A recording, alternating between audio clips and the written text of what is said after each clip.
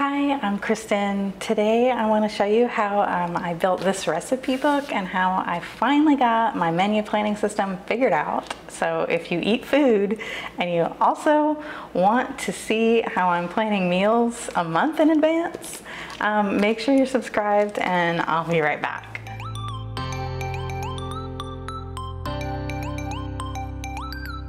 So this sheet was such a surprise to me um, because I posted it on Instagram and so many people like really liked it and I was kind of like, okay, this was like the least planned out thing. One night I was trying to plan my menu for the month and I was like, what on earth do we even want to eat? Like I know I've cooked things we've liked and why can't I think of anything? And so I like asked my family like, hey, when I cook things like that you like, can you remember any of them? Like, what do you want me to cook again? And of course, nobody had any answers. And so I had to kind of go and jog my memory of everything that we normally like. I had to look in all my bookmarks and some of my favorite blogs and things where I find recipes. And I just made a list and I based it on the kinds of meats I usually have in my freezer so that I could, you know, when I was planning my menu, I could say, oh, I have, I have a, a bunch of chicken breast I need to use up. So here's all the chicken recipes, right? And then I put these tiny little Planner Kate stickers on there so that I would know if it was like an instant pot or a crock pot meal, something like simple.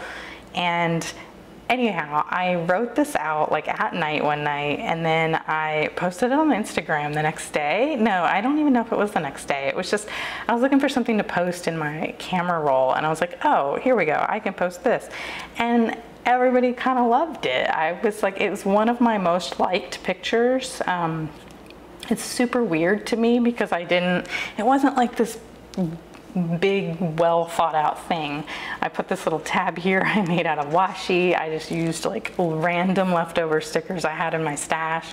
And anyhow, it worked out and everybody liked it. So um, the next step after making this list was always to organize my recipes.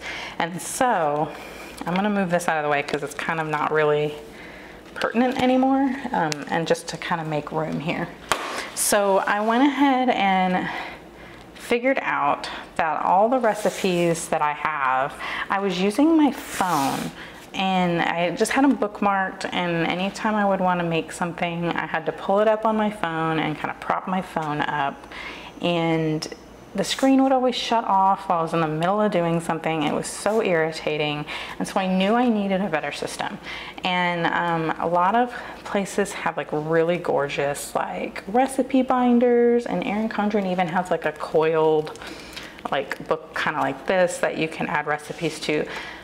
But you know, I'm not gonna rewrite every single recipe. Like I just, I'm not, I'm not, that's not my, that's not me.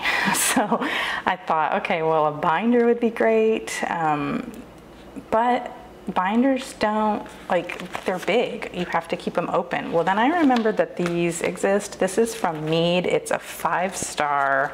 Um, I kept this so I could show you what it was called. It is called a hybrid note binder. And it's literally like a binder that you can open these rings and put sheets of paper or dividers or anything you want, but you can flip it, right? So if I wanna make something, I just open to the recipe I want and I can sit it up on a, like a, I have a cookbook stand and, and then it just stays open. And the other thing that I like about it is that I can move things around or add things.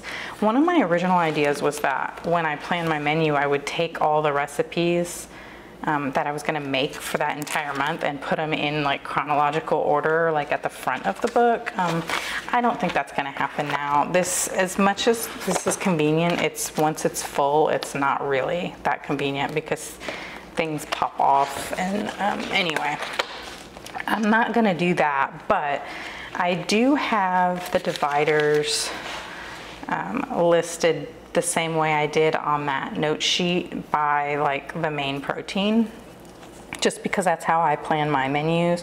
Some people might want to do it like by cooking time or cooking method or whatever, but this this is what works for me. So um, when I plan the menu, here, let's move some of this stuff out of the way. This, these are recipes I just needed to put in the book. So I'm gonna move those out of the way for now too. Um, let's look at how I plan the menu. So let me open up to my August meal plan. So I have all the meals planned for the month of August on my August calendar here. I want to use the new Erin Condren Family Organizer book. I'm going to use the, the, monthly page for that as a menu plan, and I'm going to keep that open on my um, cookbook stand in the kitchen because that's just, I don't know, that just makes sense to me. For now, I don't have that yet. I literally ordered it this morning, the morning that I'm filming this, and it's not even gonna ship until like the second week of August. So um, you're watching this video, well, this video is live on Wednesday the 3rd, I believe and I, it still won't even have shipped by then. So um, hopefully whenever I plan my menu for September, I will have it and I'll show you how I do it. But anyway, in here, I have just written down everything we're making, taking into consideration things that are going on. Um, like I didn't have to plan anything for this night because it's a, a, school function and they're serving hot dogs there. So I don't have a, a meal written there. And then um, there are things that are going on that I know what they mean, and so I am able to make certain meals on those days. And then school starts this day, so I knew going this day forward, I was gonna want like more crock pot meals and instant pot meals or make ahead meals because we have after school activities like every day of the week. And so I just knew eh, eh, to keep with my goals of cooking most of our meals at home that I was going to have to have food figured out. And so I picked most of the crock pot meals and instant pot meals and make ahead meals to put, um, you know, on this half of the month. So now I can go through and show you that like on like certain nights I have written like, okay, we're gonna have Korean beef bowls. I will just go to the beef tab, find the recipe I'm looking for. And what's great about this is like I can just print this off. It's, I try to like change the size of it to keep everything on one page so that I don't have to flip through anything while I'm cooking. It's just a piece of printer paper so I can make notes all over it. Um, I can cross things out that don't work. Basically, all of these recipes that are in here in the sheet protectors are things I've made before. And so all the notes that I had in my phone or whatever, I transfer them to this when I printed it out. And then that way I have it. Um, like this recipe, for example, is not this is actually a side dish recipe just for taco rice, but when I made it, I decided to add taco meat to it. Um, and so it's basically like a one dish meal. And so I put my notes here on how I did that so that I would remember to do that again. Um, I have like freezing and like pre-making uh, notes. I have like, okay, here's tater tot casserole, or sorry, if you're from Minnesota, tater tot hot dish. Um, I'm from the South and the person who taught me or who introduced me to tater tot casserole as a child was from Minnesota and they called it tater tot casserole. And so, sorry, I don't know. I don't know what to tell you. Anyway, these are like the notes that I have made. Um, this is important. Like, we pre-cook all our tater tots in the air fryer so that they're crispy and then you don't, they, they never get crispy in the oven. So, I don't know. I don't know if, I just lost my pen. I don't know if it's an, my oven thing or what, but we cook the tater tots in the air fryer before we put them on the top of the casserole. Anyway, that's like irrelevant. Um, but I just have all my notes that are necessary for whenever I um, am cooking. And then um, what I am also doing here is, these are recipes that I haven't tried yet. So there's a couple in here in this pocket. These dividers came with the, the binder. And so what I'm doing is putting any of the things that I haven't tried yet but want to, putting them in here. And that way, as I'm cooking them, I can make any notes on them, or I can just throw this away if this recipe was terrible. Um, and then if we liked it, I can add it to the empty sheet protectors I have in here. Yes, I can add more later, but I just figured this is like four recipes worth, and we're really only trying like three or four new recipes a month anyways, so um, I have extras in each section for that reason. Um, so the first two dividers in this book are these like big, thick, um, they have like little extra pockets here that you can put things in and um, those are that way. And then the, the last three are more just like a page protector situation like this. So I can still add them there, it's just a little bit different. I cannot find more of the style divider anywhere without buying another one of these binders, which is unfortunate because I do want more of these tabs. I purchased some just like regular dividers and they don't stick out far enough to see with the page protectors. These are the only ones I can find like that. Um, so I do want more so that I can put things like the recipes I had out here earlier, those are just like cookie recipes. Um, so things like that that don't fall in my dinner categories, I would like to have like a separate section for that. Um, so let's talk a little bit about how I come up with the meal plan. Um, I have this little like cheat sheet here and it's all scratched out. I want to make a nicer one. Um, that's what this is for. Uh, this is just a piece of note paper that I laminated and punched that I can put in here. Um, and I want to do something like that where I write like on Mondays it's like a mostly meatless meal, Tuesdays is chicken, Wednesday is beef, Thursday is either seafood or sausage. Friday is always fend for yourself. Saturday is always pizza. And Sunday is like comfort food or new recipes or something that just takes a little bit longer.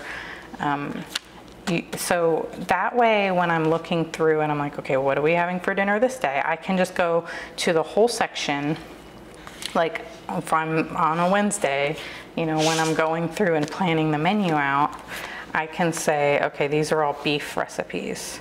And I can just go down, flip through the book, find something we haven't had in a while or something we want again or whatever, and then just say, okay, let's do that one, let's do that one you know, let's do that one.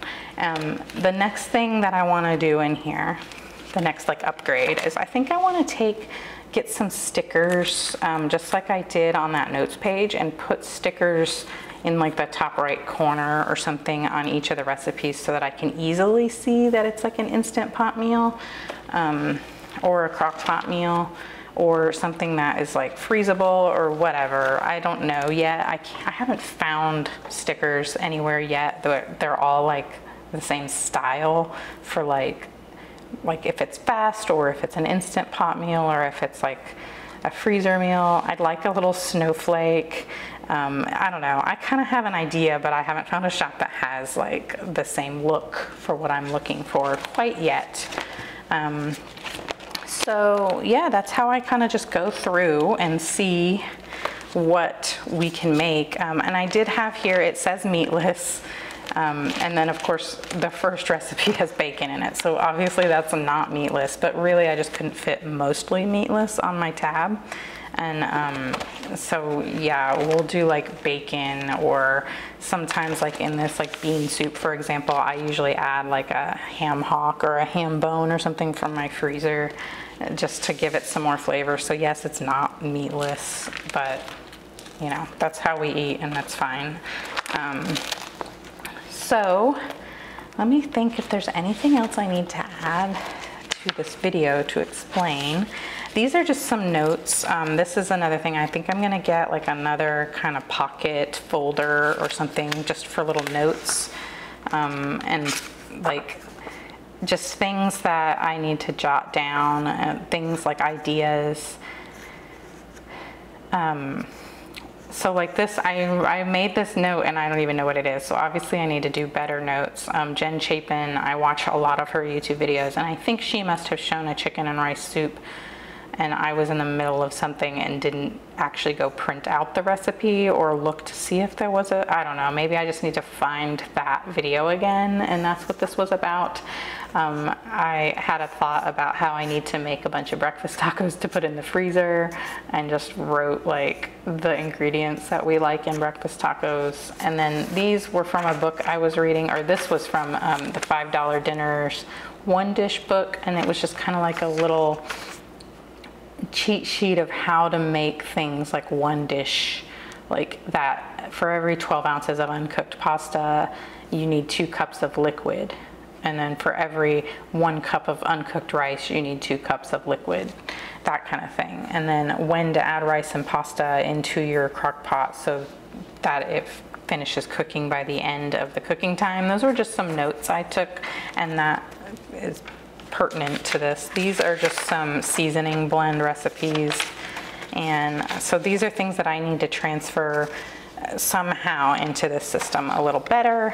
And then um, the other thing I still need to do is I need to type out like no recipe meals. So things like, um, like we do poke bowls a lot and so that would go under seafood, but I don't have a recipe for that. That's just, I know what we like in our poke bowls or our sushi bowls and then I just make that stuff and put it together. So like I kind of need like a little reference sheet for things like that that don't actually have like recipes that I printed out from the internet. And um, so that is something else I need to add to a sheet protector. And um, yeah, this is just a vinyl that I cut on my Cricut. And yes, I know it's not centered. I was trying to cover up that says five star here and I guess I mismeasured. I don't know, it's not a big deal. I'm not gonna recut and it's fine, this works. Um, I would have preferred this be like different colors. Like it, the contrast bothers me a little bit, but I mean, this is really the only book that I can find that does this. Um, and so I thought about using like a disc bound system, but then I would have to buy a punch and then I would have to, I don't think they make page protectors. And if they do, they'd probably be expensive. And I wanted it to be like protected from splatters and stuff. So honestly, this book cost, this was $5.99 at Target. Um, I'm gonna link it um, right now, the, like as of today when I'm filming this, its online price is $9.99, but when I bought it in the store, it was only $5.99. So that's a pretty big difference. Um, on Amazon, it's a lot more expensive, but I'm gonna go ahead and link it just so you can see what it is, or maybe that's just the only place you can get it if you wanna do this. Um, and yeah, I don't know what else I can add to this. I do wanna keep, I'm gonna, um, I can do an updated video maybe by September when I get the family organizer book from Erin Condren and I plan the menu in there. I can show you how I make the grocery list and how I do like all the shopping for the month. Um, the main stuff. Of course, I have to get like more milk and fresh produce and whatnot throughout the month, but I think the main stuff um, in September's video. We'll kind of go over how I do that and how I meal prep things in advance. Um, so yeah, I think that's, that's all I've got. Um, I can show you the upgrades to the book as I go and just kind of give you an update on how it's working after like a full month of cooking every single night. So um, yeah, if that sounds interesting, let me know and I will definitely make sure that gets on the schedule. As of now, I, I'm pretty sure that I want to film that video, but just kind of like, I don't know, leave me a comment justifying it for me just so I can make sure it gets done. So that is gonna be it for me. Um, if you like these kind of videos, I'm trying to incorporate more than just plan with me videos. I do upload every Monday, Wednesday, and Friday. So um, there will always be plan with me videos, but there's gonna be a little more lifestyle stuff too because that's my life and that's what I like to watch on YouTube. So those are the kind of videos I wanna start making as well. So if you like this video, please give it a thumbs up. And if you really liked it, please consider subscribing and I will see you in the next one. Bye.